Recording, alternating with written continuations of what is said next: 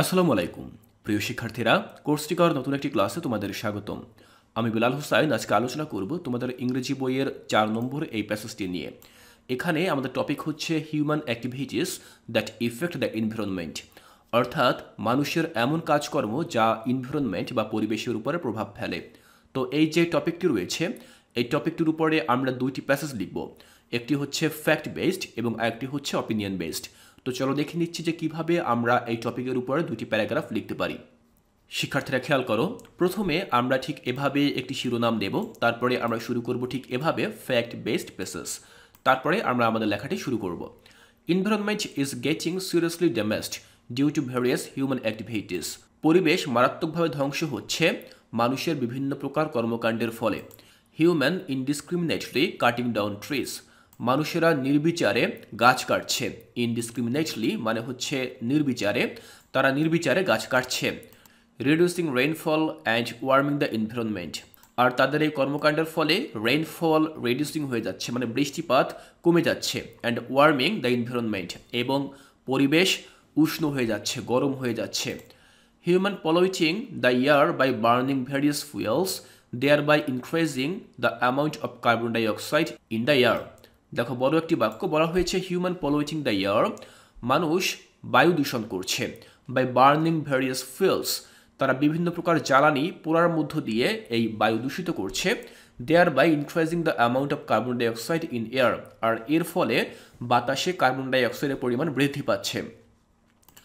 People throw waste from house and factories into the river মানুষেরা ঘর বাড়ি থেকে এবং বিভিন্ন কলকারখানা থেকে ময়লা আবর্জনা, বজ্র এগুলো নদীতে ফেলছে। অ্যাজ রেজাল্ট যার ফলে the river water is getting polluted এর ফলে নদীর পানি সেটি দূষিত হয়ে যাচ্ছে। It can not be used এটা আর ব্যবহার করা যাচ্ছে না।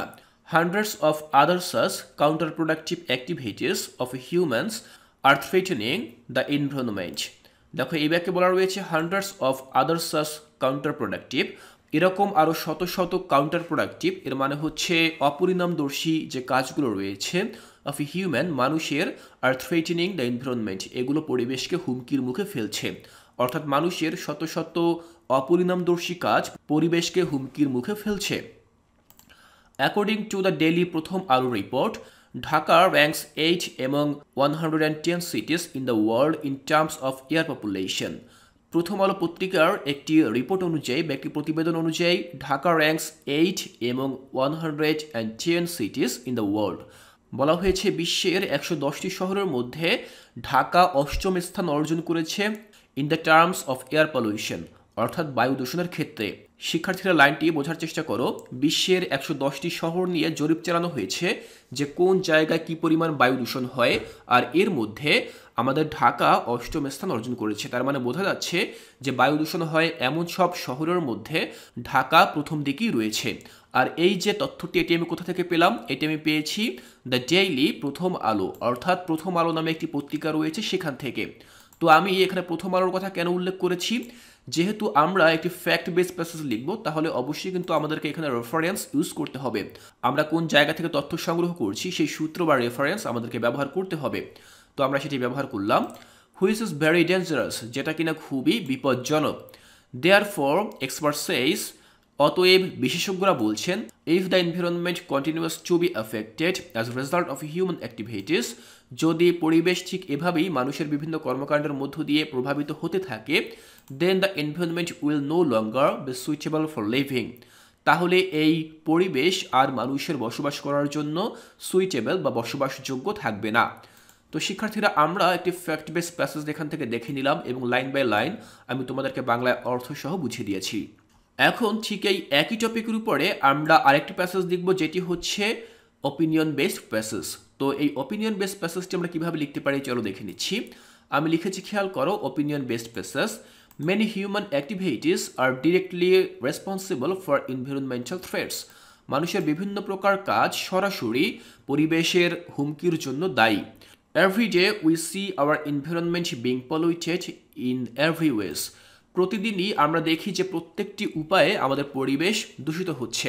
ফর এক্সাম্পল উদাহরণস্বরূপ we are reducing oxygen by cutting down trees unnecessarily আমরা অপ্রয়োজনীয়ভাবে গাছ কাটছি এবং এর মধ্য দিয়ে আমরা অক্সিজেনের পরিমাণ কমিয়ে দিচ্ছি increasing the amount of carbon dioxide in the air by burning various harmful fuels খেয়াল করো increasing the amount of carbon dioxide আমরা বাতাসে কার্বন ডাইঅক্সাইডের পরিমাণ বৃদ্ধি করছি by burning various harmful fuels আমরা বিভিন্ন প্রকার ক্ষতিকর জ্বালানি পোড়ানোর মধ্য দিয়ে আমরা বাতাসে কার্বন ডাইঅক্সাইডের পরিমাণ বৃদ্ধি করছি। We are polluting the water by jumping all the waste we produce into the water বলা হয়েছে আমরা, আমাদের যত প্রকার বজ্র পদার্থ রয়েছে, সেগুলো আমরা কি করি? যে সকল বজ্রগুলো উৎপন্ন হয়, সেগুলো সব কিছুই আমরা এই পানির মধ্যে নিক্ষেপ করি বা পানিতে ফেলে দেই। But we should not do them at all কিন্তু এগুলো আমাদের একদমই করা উচিত না। We should always keep the watchful eye on the environment আমাদের সবসময় পরিবেশের প্রতি সজাগ দৃষ্টি রাখা উচিত। ওয়াচফুল আইস বলতে বোঝানো হয়েছে সজাগ দৃষ্টি। আমাদের সবসময় পরিবেশের প্রতি সজাগ দৃষ্টি রাখা উচিত। So that the environment is not polluted যাতে করে আমাদের পরিবেশ দূষিত হয়ে না যায়।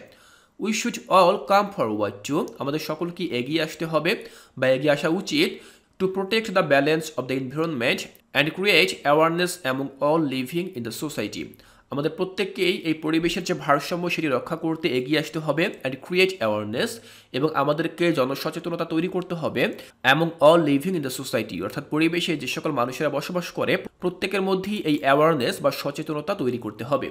তো শিক্ষার্থীরা আমরা দেখে নিলাম যে কীভাবে আমরা একটি ওপিনিয়ন বেসড প্যাসেজ লিখতে পারি। আজকের ক্লাসে আমি আলোচনা করেছি তোমাদের সাথে এই যে চার নম্বর প্যাসেজটি রয়েছে এটি নিয়ে। এর পরবর্তী ক্লাসে আমি আলোচনা করব your relationship with your parents এই টপিকটির উপরে আমি তোমাদেরকে দুইটি প্যারাগ্রাফ লিখে দেখাবো। একটি হবে ফ্যাক্ট বেসড এবং আরেকটি হবে ওপিনিয়ন বেসড তো শিক্ষার্থীরা, আমি আশা করব তোমরা এর পরবর্তী ক্লাসটি দেখবে। এর পরবর্তী ক্লাসটি দেখার আমন্ত্রণ জানিয়ে আজকের ক্লাসটি এখানেই শেষ করছি।